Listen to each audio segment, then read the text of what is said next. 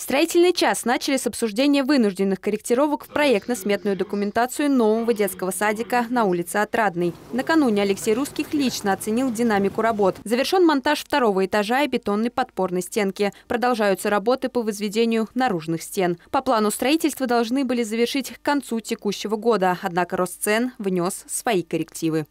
Средства предполагалось выделить в 2021 году из дополнительных доходов регионального бюджета.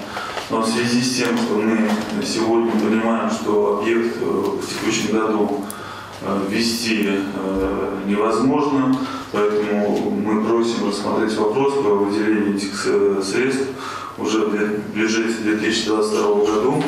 Предложение уже одобрено и подкреплено необходимыми финансами. Алексей Русских поручил как можно быстрее сдать объект и снять социальную напряженность в микрорайоне. Параллельно на улице Шигаева идет строительство детского сада на 160 мест. Здесь проблем с финансированием нет. Однако при планировании объекта не учтены новые требования пожарной безопасности. Документация отправлена на проверку. Строительство планируют закончить в срок в сентябре 2022 года.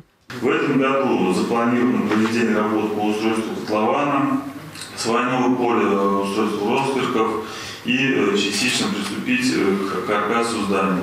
Помимо возведения социальных объектов, на совещании анонсировали новую цифровую платформу. Центр управления строительством позволяет отследить весь ход работы в режиме реального времени. Система представляет собой сайт, включающий в себя профильные разделы «Дети-сироты», «Аварийное жилье», «Контрактные работы».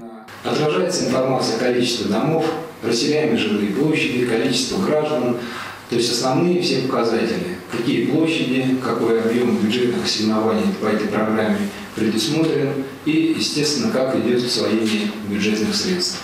Информация считывается на виртуальной карте в формате светофора. Красным отмечается отставание от плана более недели, желтым – пару дней, а вот зеленым – бесперебойная работа. Сейчас идет освоение данной платформы и обучение кадров, которые будут работать с системой. Александра Никитина и Герман Баранов. Управда ТВ.